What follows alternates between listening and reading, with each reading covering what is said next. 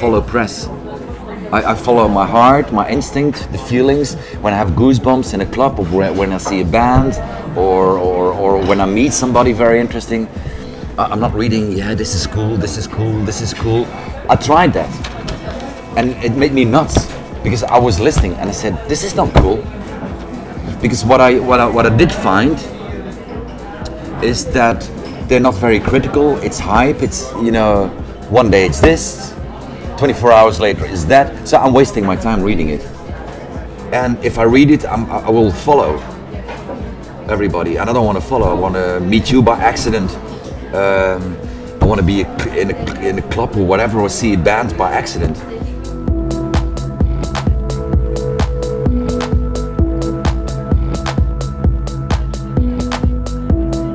Even in the beginning, we, we were against you know, the stream. We were trying to release records which were not really confirmed on what the market wanted. And it's, it's very hard for you to understand now because if you hear the classics, Beltram, they're typical dance records.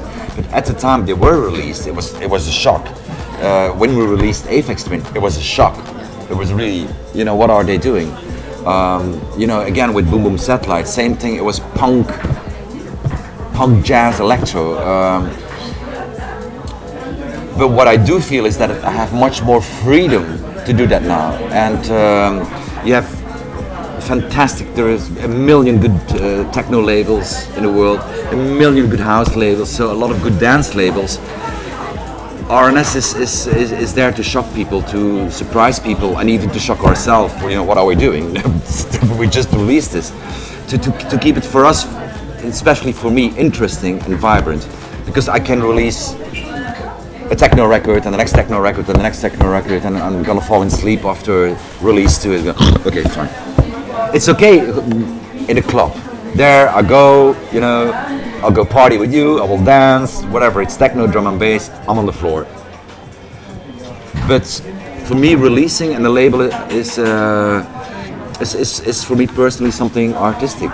We, we really want to push push boundaries. We really want to test the waters.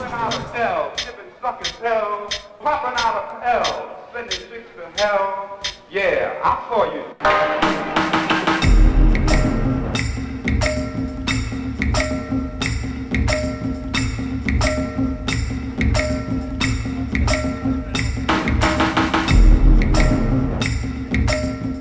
you know, when, when we stopped, when I stopped in 1999, basically, uh, I was bored with the industry. I was really, really bored with the, how business was run and blah, blah, blah.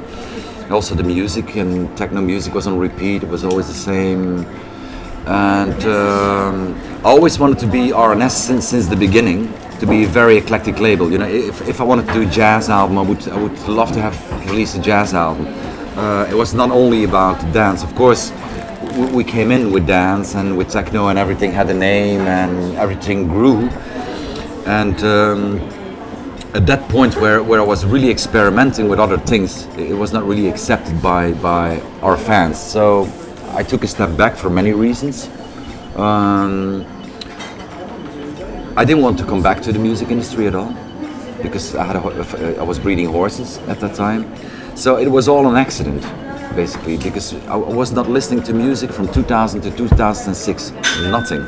Didn't go to one party. Music on silence, no radio, nothing. Only the horses, nature. And um, people that worked for me for 20 years came to the farm you know, my lawyer and somebody that worked in our office, yeah, I should start again, and you know, this whole story. And I said, no, no, no, no, no, no, no. You know, we, we had a full do, you know, at the farm. The horses were outside the stall. I said, look at me, and, and we went for dinner.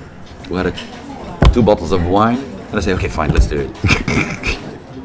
and this was the beginning of this whole mala, you know, bass music started and, You know, later dubstep and and certainly there was a trigger. I said, ah, this is very interesting.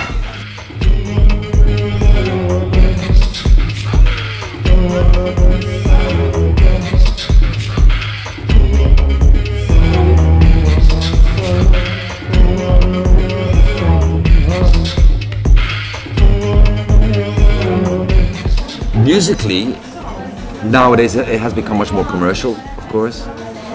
Much, much more money involved and bigger lights and brrr, bigger, bigger, bigger, bigger. For me, it's still about it's this, this, this small club of 500 people where re- a DJ really can play stuff and you know you don't have to you, you don't have to rock 5,000 or 10,000 people because then you're limited in what you can do. Musically, though, I think it's far more interesting because you have much more subcultures. There- is a bigger diversity. You know, a lot of young kids making making music and, and not necessarily dance music uh, or house music. It, it, it, you know, can be extremely eclectic. So, in that perspective, I, I prefer today more than thousand years ago when I started.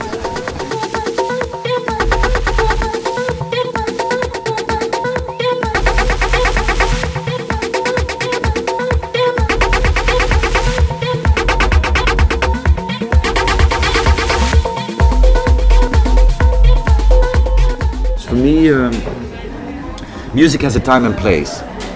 So in the morning, I'm not going to listen to a full-on pumping techno track. I'm, I might listen to Miles Davis, or even classical music. Um, if I feel romantic, maybe I'll listen to Ben Howard or Fink or uh, you know some folk music. And then in the evening, when you know the friends are there, come on, let's pump it up. so you know what I mean? It, I cannot listen to the same music non-stop. It really bores me very quick. And the, the, the and I think if you would do that, you would really be like a horse with that cannot go left and right. You would not hear, see anything interesting. Uh, uh, one one of the most interesting artists at the moment is Nils Frahm.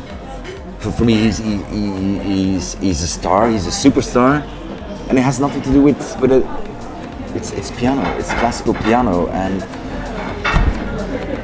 so if you if I would only listen to techno music, maybe I would have missed Nils uh, or others. I don't, I don't want to. It's impossible to follow everything, but I want to miss as less as possible.